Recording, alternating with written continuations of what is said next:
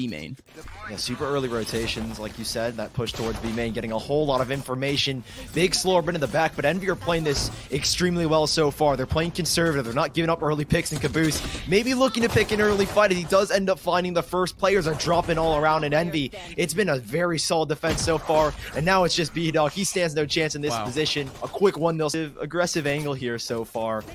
Um, and FNS, he's just going to try and support him. So Beast Coast, what can they really get from this one? Food already can find the first frag. I don't expect too much from this one. Beast Coast, I think they're going to be lucky if they can get away with one or two kills at this point.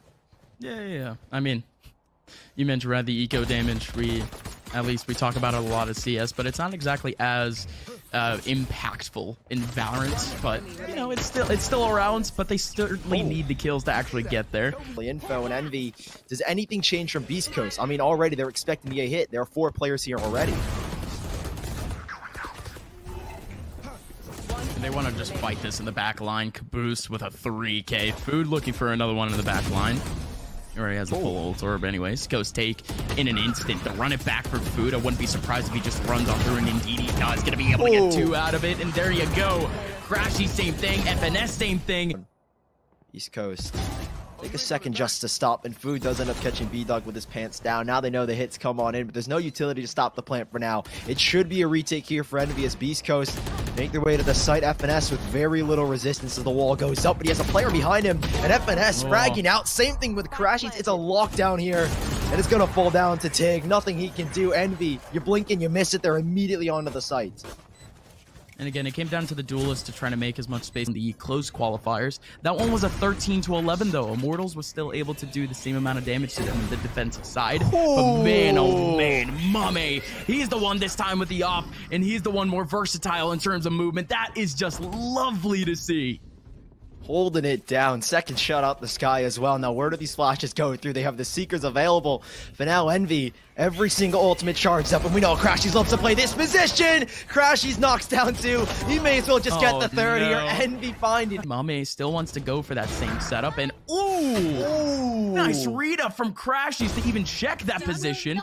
Still, Mame takes him back in the recovery, actually. The revival from Koler picking up Jammyz. No one's going to be there to trade it back, so still Oh, it's a B-Dog. four on four. And B-Dog, he lets one pass by, but that just leaves Kaboose out in his lonesome. 3v4, man advantage for Beast Coast. Yeah, and here's Beast Coast setting up that Trailblazer to at least get some early info, clear out that left side of sight, but they can retake that instantly. Smoke's dropped on the left side.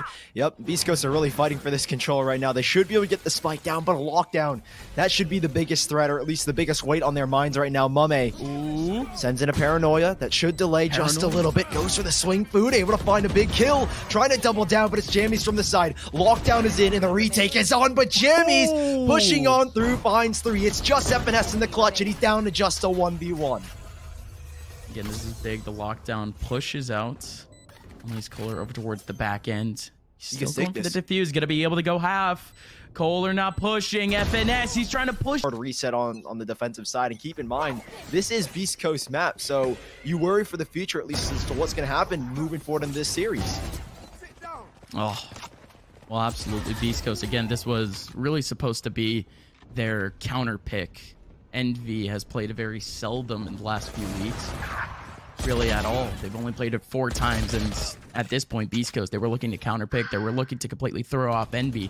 And in this round, it's Envy throwing them off. Crash, he's holding back on site. Kaboose on the flank. He has the info, and he's not going to be able to get the kill. Instead, it's still B-Dog holding up with a classic. So, like you said, that, that map, map pool becomes a lot more con- conjugated and it gets a lot tighter for Beast Coast. So this mm-hmm. the rest of the series is a little bit frightening, but Envy on the attack, a lot more reserved. Beast Coast trying Yeah. to fight early down towards mid, but they're just watching these Wow. lurks. FNS and Crashies so sharp as they find two kills and Envy. Well, they have complete control of this ace side as Beast Coast now. They have a 3v5 to try and take back, and because of those lurks, they have to take so much time to try and clear up these angles, and ensure that they're not going to get picked off one by one. And Crash is looking for something here, and down at the very end. So at least a 3v4 now for the rest of Beast Coast. A little short. Uh, just a little bit. Uh, it's one of those pistol round strats that you see a lot from teams that it's a little bit more cheesy. You try to make as much space as possible early on, or really just try to surprise two players in the back lines of B. The nade might be able to take one, but the teleport comes in at a good time. Tig and a nice off Oh. angle. B Dog here to help. There you go. The double pick. There's still one around the corner. It's gonna be Crashies with a little bit of information. Finally gets the kill back. Needs some more, but B Dog. There you go. Explodes for two. D Cop in the back fighting alone. Can't exactly get the frag, but gets a whole lot of damage. Two players for Envy trying to make their way on. Jen Jammyz with a whole lot of damage, but MummAy still gets the kill. Oh man, Jammyz. He's trying to go for it all. Just about a minute left. They were looking for the plant. FNS looking for the frag onto Jammyz. Good quick one, but MummAy still comes back with a trade back. 2v1. Still has the shrouded step. Again, not a whole lot. A singular bullet will do it. Good stuff from Koler and Beast Coast. So against Beast Coast after losing the second and oh Kaboose straight on in but it's smooth to find two where are the trades back? Tig good for one. He has the phantom on the low ground but they need just a little bit more oomph out of that phantom. Spike will not go down just yet. The site not fully taken over as Crashies Oh. making that risk and FNS catching the lurk. Spike goes down but Crashies as well. A 2v2 with these trades going back 1v2, Tig now. Got that Phantom like you mentioned before, but that's a, a perfect paranoia. But Tig is still alive. Seeker's out. Oh, almost off the post plant. I don't really know what to tell you at this point. Beast Coast, yes, they have the right options, but it just doesn't work out for them in the end. A little bit unfortunate, but in we go again. This time, Jammyz, what on earth is this position? Could have sat on top of tunnel, but instead he sits on top of the wall that was set up in the middle of tunnel. That's very crafty to say the least. Ooh, Crashies. he's able to dodge. Trailblazer, heal up in the back at least. Decop, ooh, Oh. food. These lurks have been so, so good, at least for the side of Envy. And there's another food. Crashies, one by one, they're starting to fall. And a 3v1 take stood no chance. Envy, they make one a heck of a on this map, but uh, it's quite a bit different in terms of composition and envy. They're looking to go fast and furious here on the A site. It's going to be Kaboose trying to take early U-Haul control, but Koler's more than ready for it. That paranoia actually tags out two players, but no wide swing at least. The spike will be able to go down, but look at the amount of oppression. Still Beast Coast getting plugged out a little bit more. Tig still holding things down. MummAy around the corner with a trade back. And there you go. Now it's a 1v1. MummAy wins it out barely. Now, you at least lose one life. Koler good for the first. Now, can FNS trade back? Stinger versus, I think Stinger as well. And Koler does double down and finds a second. So they trade things back. Full showers control. And this is a little bit risky from Envy. They're going straight into the site and they do recover. And a 2v3 with only one person left. Tig stuck in towards Octagon is going to try and lock this down, but he is flushed out by a paranoia. A little bit of a struggle fight. Tig still coming out on top now. It's MummAy again, left in a 1v1 clutch. Oh, good rotation back, but man. I just can't believe that Tig was actually able to get two frags there. He was double flashed. Oh. Got flashed up by the curveball and then flashed out by by the paranoia. I mean, just a little bit unfortunate. Mame, he does go for the fake spike plant just with about 40 seconds left. You do have Koler just about to swing. Fake TP and Koler. He's not going to Oh. overthink this at all. He still peeks the corner. And that's going to be a third kill for him on the round. And a round back for Beast Coast. Like you mentioned, super risky for Envy to try to fight on Hookah. Like with a curveball, but they've been revealed. They need to back away, and they are fighting here for Hookah. But Decop able to get out with one and easily back away here off of his paint shell grenade. Curveball does end up missing here. And Envy, it is a very sloppy round, but a huge double kill from Crashies and food to find the player in the corner. Envy somehow turn it around. They were going down one by one, but now they've got an advantage in a retake 2v3. Yeah, we see that situation happening Oh. a whole lot on the B side of Bind, just a 1v1s. But oh, no way! Through the smoke, MummAy takes down Koler. Oh, Don Hunter's Fury hits immediately onto the run it back position. That's wonderful from Tig. We weren't expecting too much action out of this. And of course, it is going to be that full retake from Beast Coast, but the ulti is really the one that is able to make up space. So well done, at least early on from Beast Coast. But Envy, they do have their post plant positions ready and rearing to go. The server is quite quiet, but Tig, he's still looking for more action. Jammyz on the front lines. No ultis to really act with, but a whole lot of util to make their way back in. Still FNS. Around the corner, same thing with Crashies, but in comes the first pick, and oh, never mind, it was Mame, and Mame goes down through the smoke, Sully. That is just so unfortunate, but Beast Coast, they're going to take that one back in a flash. But huge molly to force these players back. But Envy, because they realize the pressure towards this part of the map, they're going to try and take a different angle. And Beto pushing through with the judge. Good to find the first, but FNS immediate with that trade back. However, there is still Koler, and they do need to flush him out now. Again, they still know he's there, but he still has Ooh. a crossfire into sight. But Food takes him back. Tig. We talk about the power of the shotgun, but he tries to go far with the right click. I swear we've seen so many clips from the from the Bucky just just on Twitter in general in our guess you could say set up or formation. Two players back over towards B and D Cop. There you go. The showstopper able to take down one. Still one more. He's fully flashed, but he's still not dead. And not only that, but Envy, they're still trying to take up control in the A sites. Lurkers galore, but it doesn't matter. Envy still all over the place and still trying to aim down on a singular site. That site being, oh, by, being able, what on earth is going on? Actually, what is going on? Decop was almost able to get the frag back, but Tig is here to try to help out. Food tried to go for a knife, and this round has gone to the wayside as Envy, they lose out all of their 1v1s, and indeed they lose out on the last one. For control here, at least into the back of U-Haul, but nothing for them, and B-Dog, through a huge smoke, finds the first into the players and showers. Jammyz taking it back, and not only that, with the molly up and a flash in, but no, that running back is right in the middle, and Food's able to get two off the lineup. Decop is there as the so much information. Koler's not going to be able to peek either, and Beast Coast, they know that there's only two players. They're going to go for a full retake at this point. Still around the corner. There goes the recon dart, but FNS doesn't care. Walks right on by. Jammyz Again, he was the, I, I, guess you could say the anchor on site, but still nothing of the sort. Still 3v2. Mame, look at this position. Could be able to get one. Still low HP on another one. Trying to see beyond back. Could be able to go back over towards bathroom, and indeed he does. FNS still holding up the cross. Not going to be able to get the kill. Still player in bathroom. Mame takes him down. Doing everything they can to work that one out, and it's a well-deserved sixth round, but in comes Kaboose. A chance at a double, no but he way. gets nothing for it.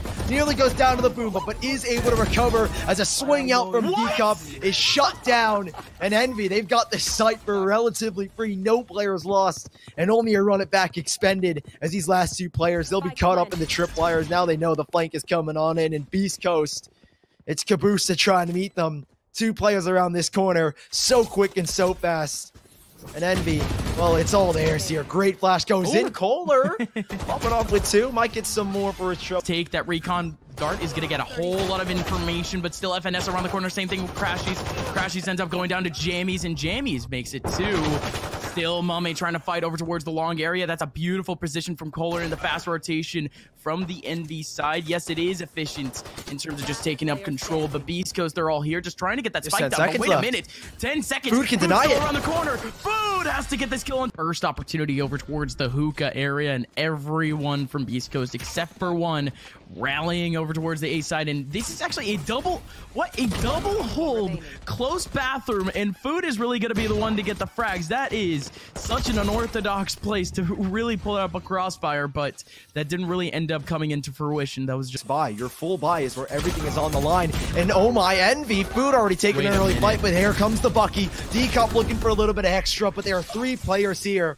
And the Bucky while it's quick and while it's flashy, it's not going to be enough to take them down. They try and respond here, Beast Coast, with the use of the Hunter's Fury, but it's Koler again.